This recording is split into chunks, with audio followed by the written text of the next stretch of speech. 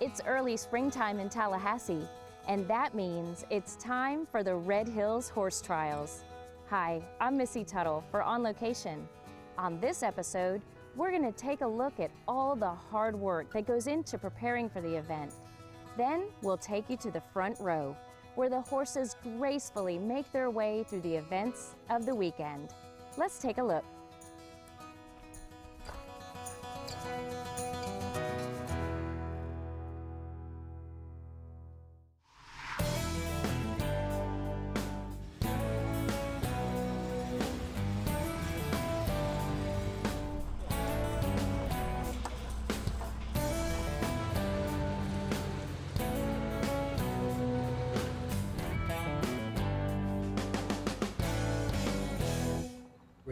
Is an international level event. We get 20 to 25,000 spectators in three days, and it is a huge undertaking.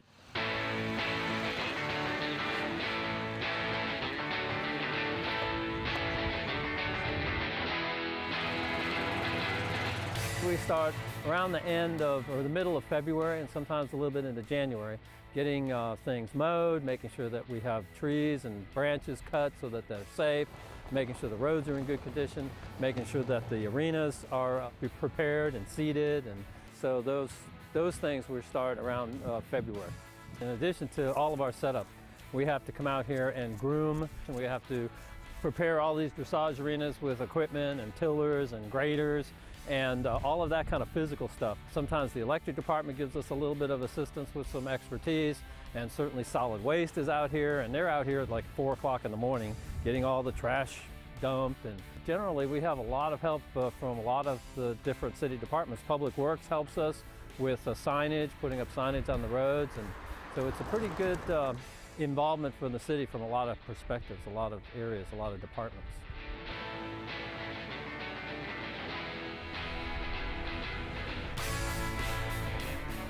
My average day on Wednesday, meaning tomorrow, the horses will start coming in. So I'll, I'll come about 6.30 or 7 in the morning and I'll be here in, long into the night, usually midnight uh, Wednesday night, the same pattern on Thursday night until all the horses get in. Then we lock the fence and, and lock the place down. Then on event days, I'll, I'll start at uh, 6.30 in the morning to unlock the gates for the grooms and riders so they can come in and walk their horses and all that sort of stuff. And we'll stay until early evening, uh, 9 or 10 o'clock.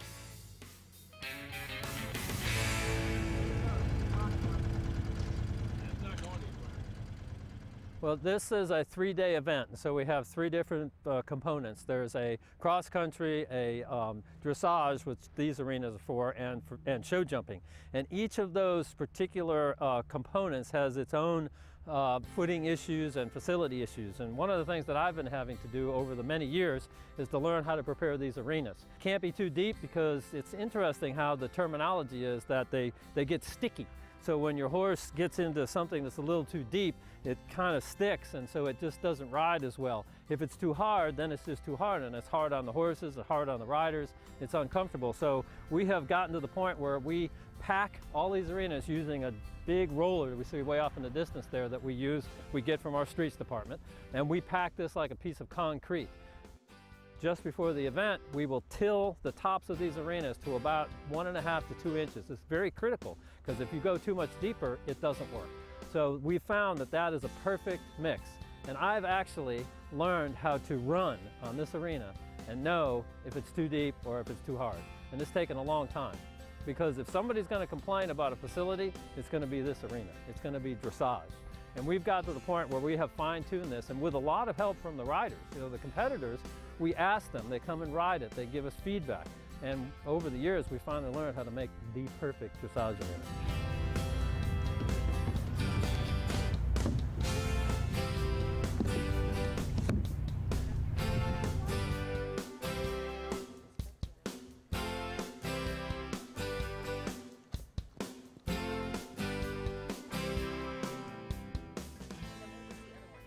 Show jumping. The show jumping arena, um, it has to be nice and grassed. It has to um, be a particular size. Ours is about 300 by about 245 feet square. It's a little tight for a show jumping arena, and it has some topography, which is not uh, usual. A lot of the show jumping arenas are very flat, but ours is a little bit more challenging because it has topography. We, uh, early in the year, we plant it with grass because our grass here goes dormant. And so we plant it with ryegrass. Sometimes we put in oats and wheat, which is a winter crop, just so that it has uh, some substance. It's nice and green. Then we have a crew, so every time the horse jumps over a jump, it can start to churn up the uh, ground. And so during breaks, we have a crew that goes out with fill material, and we'll go out and rake it, fill it up, with some material to fill in those holes to make it safe and make it uh, rideable for all the rest of the competitors. So that's something we've finally, we've, we've learned how to do and I think we do that quite well as, uh, too. My name is Fuzzy Mayo. I'm the stadium jumping course designer for the Red Hills Horse Trials.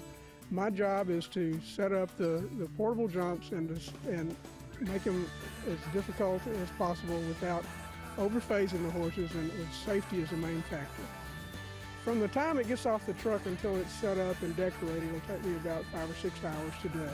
And then we'll adjust the, the jumps during the show. It'll take about 30 minutes in between classes. And uh, in between the, the Saturday class and, and the Sunday class, it'll, we'll spend about four or five hours changing the course entirely. I bring different jumps every year, and the course changes entirely every year. Oh, I'm very proud to be here. It's, it's a very exciting time for me.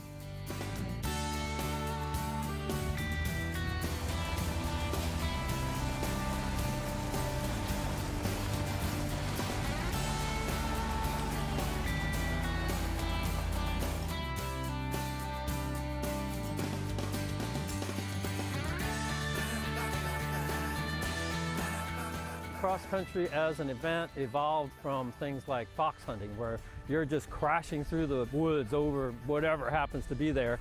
Uh, cross country is a, is a little more demanding, and so our challenge is to make that cross country course um, as fine groomed and perfect as we possibly can. The course this year is, is, a really exciting course. I think we've got a good, fast-flowing track for this piece of property. It's, a, it's quite a twisty, hilly piece of property. So that when they get out, they go out the start box, they, they can expect to have to pay attention all the way around, which is not always not always the case. Um, everything here comes on them very, very fast and furious. It gives for um, pretty exciting time for them and exciting time for the spectators watching. So we're, we're, we're excited to see it ride this year. Sometimes these horse riders come here very early. This is March. They've got the rest of the year to compete. This is very early. The horses haven't competed over the winter. They're kind of green, so to speak. They're, they're, they don't want to have their horses uh, injured by some uneven terrain. And uh, so we try to make it as um, well prepared as possible to make sure that they're comfortable running their horses on this, on this course. So that's been a challenge for us. The city of Tallahassee, the Parks and Recs, um, are, phenomenal. The, what they what they put into uh, this event. It's, it's makes life for me very very easy when I when I put a course on paper, and invariably you put a course on paper and you come back and it's not quite what you wanted. Here it is always more than what I expect, and so it makes me look good and uh, and uh, they they put a lot of hours into it. Um, as I say, the whole community gets behind it, so they feel uh, obliged. To, I think the Parks and Recs feel obliged to um, get behind it as well, and they, they put in a lot of hours.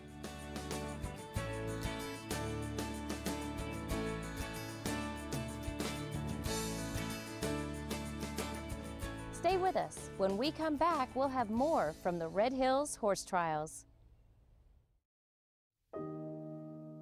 Until all our daughters are safe, until all our children have families,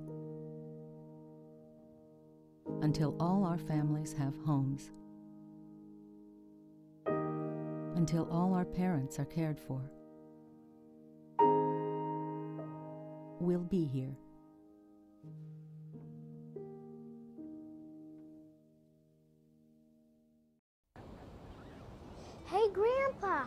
I can hear the ocean. Think you could hear it on your new phone? Yes, I'm sure I could. Thanks to the FTRI Equipment Distribution Program, Florida residents who have hearing loss can qualify at no cost for a phone that lets you hear clearly when you make or receive a call. You know what's better than hearing the sound of the ocean? Hearing the sound of your voice on my new amplified phone. Contact FTRI to see if you qualify for a specialized phone. You won't have to shell out a dime.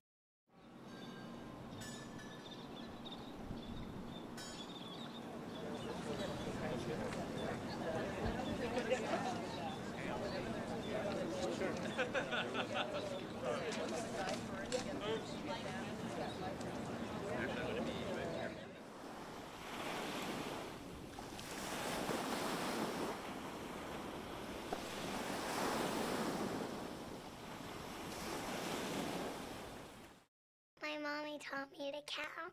One, two, three. Character isn't developed overnight. It starts when children are small, from birth to five. What you as a parent do now will have a profound impact on the men and women your children will become. Think about that. You are your child's first teacher, and the Early Learning Coalition is here to help. To find out how the Early Learning Coalition can support you in your role as a parent, call us at 385-0504 or visit us on the web at www.elcbigbend.org. As city staff prepare the cross country course for the horses, it takes a special team led by Corinne Mathis to make the course visually appealing to the spectators. Let's take a look.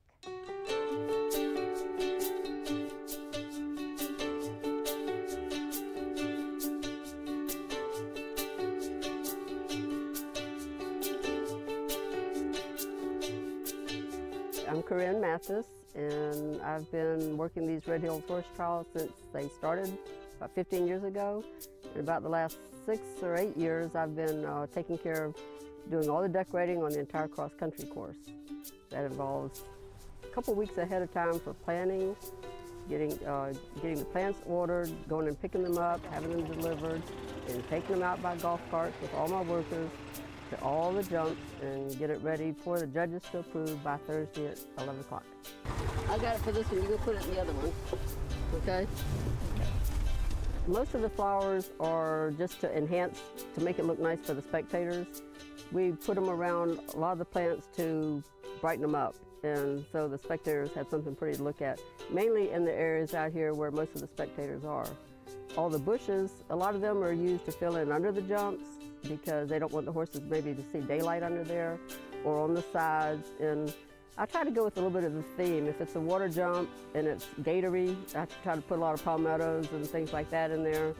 If it's uh, like we're doing one this year that's going to be more of a beach scene and have some gas lamps and, and we've got a pig pen area where we use pigs. I love to do all the props and all the fun stuff. I love to decorate it up. So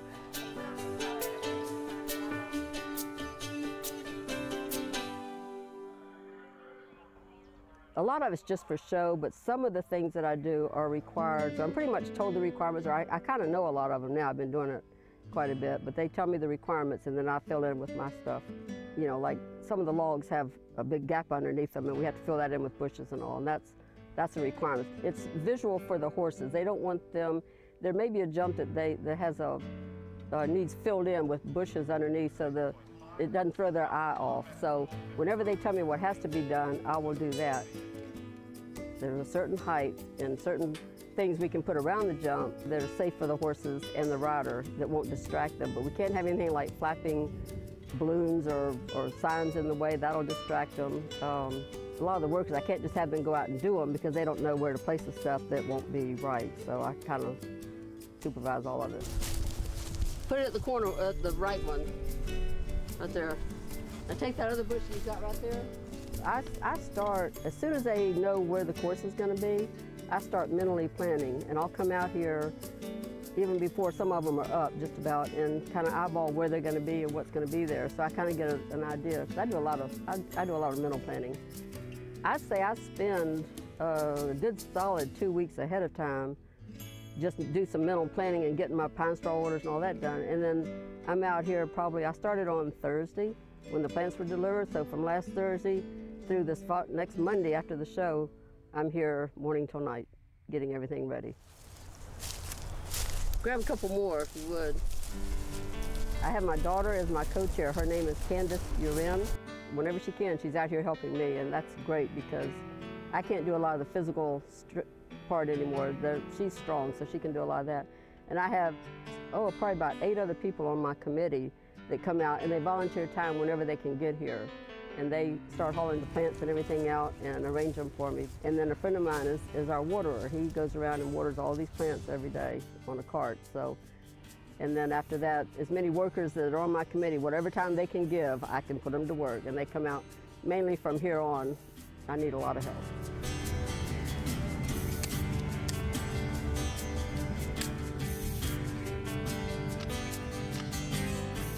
Actually started volunteering years ago. I mean, years ago, my daughter used to ride this type of riding, and uh, my husband and I would jump judge at all of the shows she went to, all over the southeast, wherever she.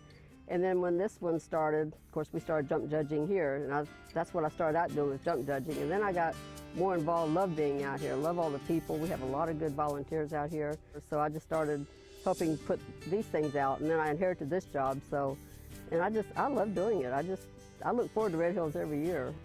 It's being outdoors, meeting all the people, seeing the riders when they come through, and just all the friends you see, sometimes just once a year out here, but it's just, it's just fun to me, a lot of fun. If it was not for the city, we couldn't do this. They, they work their behinds off out here doing everything for us. Every time I have any kind of problem at all, I call one of them and they have it taken care of. They help me get the watering going and just everything. They are, they are invaluable. They are invaluable to me. Uh, probably to everybody, but I know they are to me because I've, I've had to use them a lot. And, and they never say no. They never act like it's a bother. They just, they're right here when I need them. And it's just wonderful. She takes care of making everything beautiful on cross country and on stadium, gets all the plant material, makes sure that everything, all the, the jumps are all dressed up and the flowers are out there and they're all watered and she does a fantastic job and we couldn't make it look the way it looks without Corinne. And she's so nice to work with because she's just real pleasant.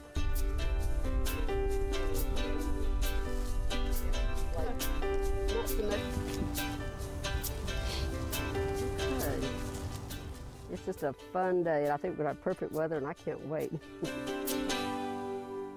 now that city staff and volunteers have completed the prep work, let's take a break.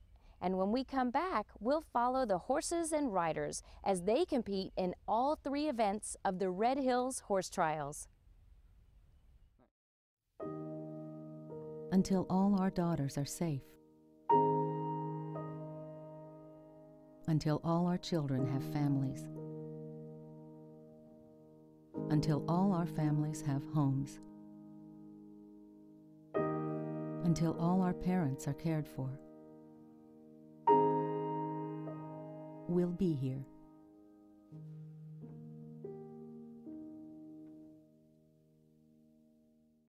Imagine a landscape of distinct natural beauty, a place where bees and butterflies move among the blossoms and birds find food and shelter where plants can thrive on rainfall and native soil and fertilizers and pesticides are almost unheard of.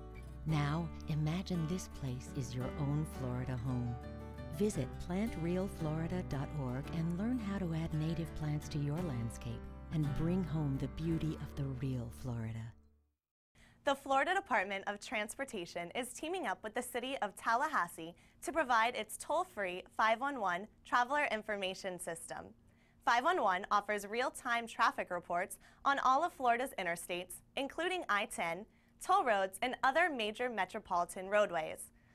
Travelers can call 511, visit fl511.com, register for My Florida 511 personalized services, or download the free 511 app on iTunes for traffic updates. Twitter users can also get the latest traffic info by following FL511 on Twitter. So buckle up, drive safely, and check 511 for FDOT's real-time traffic information.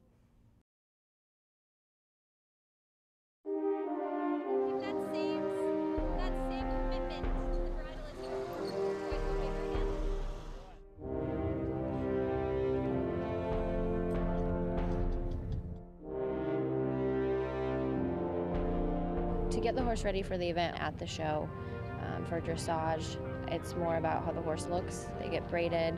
Um, we put studs in their feet so um, they have traction. Um, they have to be glistening, shiny. Um, everything, every all the white hair needs to be really shiny white. Um, so there's a lot of kind of making the horse look pretty for that. Um, the cross country is more about making sure the horse is in good condition, nothing's wrong with it, you know, temperature is good, um, and then there's more equipment involved, like safety equipment, boots to protect the horse, stuff like that. Um, and show jumping is kind of a combination of the two, and just kind of keeping an eye on the horse all weekend and making sure that nothing seems abnormal or out of sorts.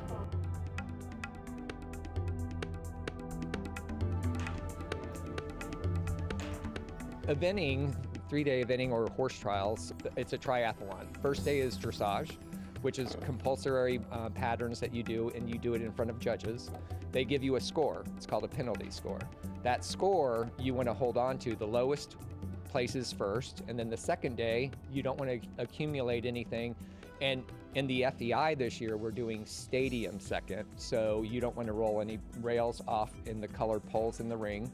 Otherwise, you add to that penalty score. And the third day for us with the FEI, under a new rule, is cross country, in which you gallop ditches and rails, things that are permanent, and you want to get in on an optimum time and not have any stops or um, refusals at jumps. So at the end of three days or three phases, the lowest score wins.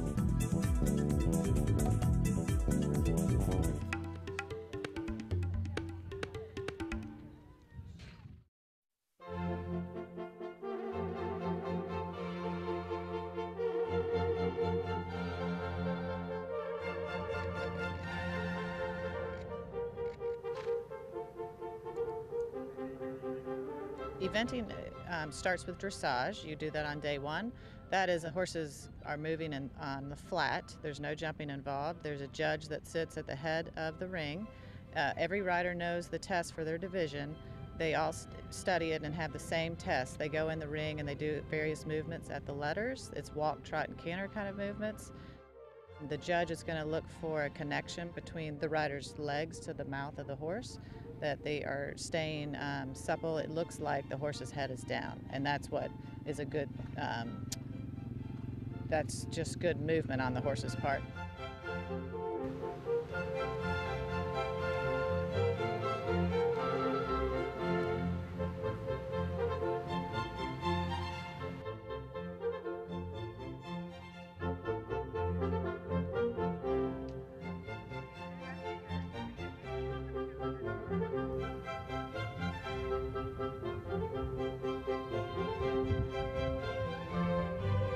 I just finished the dressage. It's the sport of three-day eventing, so you've got to do all three phases, and today was the dressage phase for me. Dressage is a little like uh, like figure skating. Everybody's got to do the same set pattern, and each movement gets a score of between one to ten. And at the end, all those scores are tallied and uh, reduced to sort of an overall penalty score.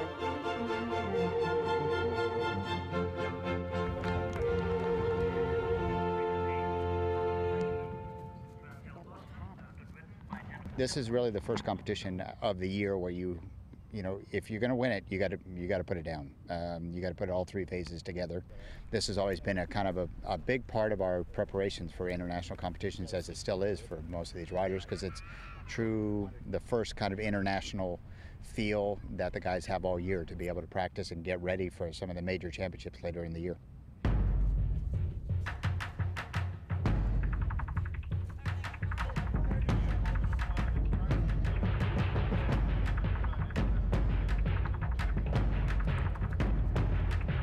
Another phase of a three-day event is cross country. That's um, galloping across the grounds. There could be all the that's jumping over logs, water, ditches. They have really beautiful jumps here at Red Hills. For cross country, you need to um, jump all the jumps. You can't have the horse run out, stop, or if the rider falls off, you're done.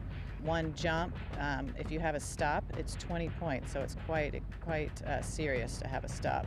Also, you're judged on time, so you need to go as fast as you can, generally based on, depending on which level you're competing in.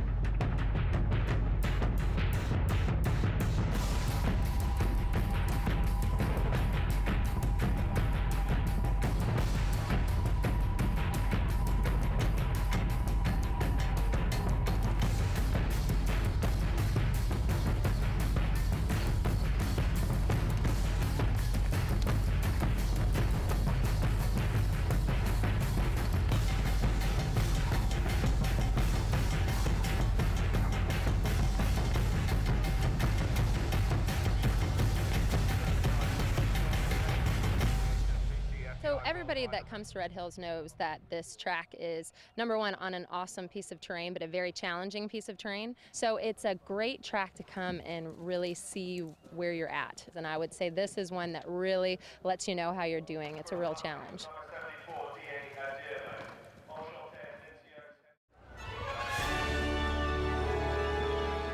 Another phase of three-day eventing is called a stadium.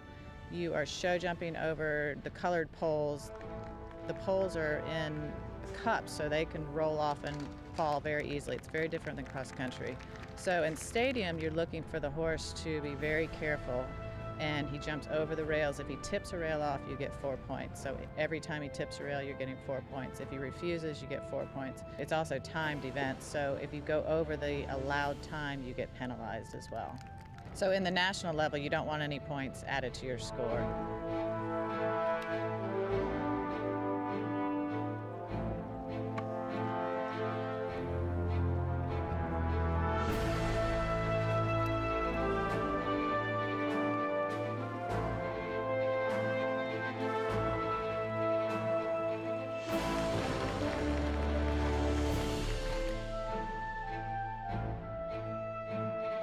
Think that's the special thing about here is the community involvement. It, has, it had that feel right from the beginning. So now 15 years later, it really does have a, a true feel that you feel like you're coming to a sporting event. You're not just coming to a show. What really is gratifying is to see how the community and surrounding area have really taken Red Hills to heart. It's an event that grew into a small horse trial the first time around, and now it has grown into one of the top three events in the United States and one of the finest horse trials internationally. We're always held up, if you really want to do it right, do it like they do at Red Hills. Red Hills is my favorite event. It's it's spectator friendly. Um, the city's very involved, and so it's a great um, great event to come to. I mean, it's great to bring this level of competition into Tallahassee. I mean, just the quality of the riders and the horses who are here. I mean, you've got several past uh, Olympians here, both, uh, I'm trying to think, U.S. and Canadian Olympians are here. You know, really talented pairs of horses and riders, and it's, it's really neat that Red Hills can draw them all here.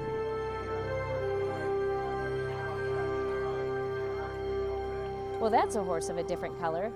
If you happen to miss this year's Red Hills Horse Trials, keep your eyes open next spring because this is an event you don't want to miss. Thanks for watching. For WCOT, I'm Missy Tuttle, and we'll see you next time, somewhere on location.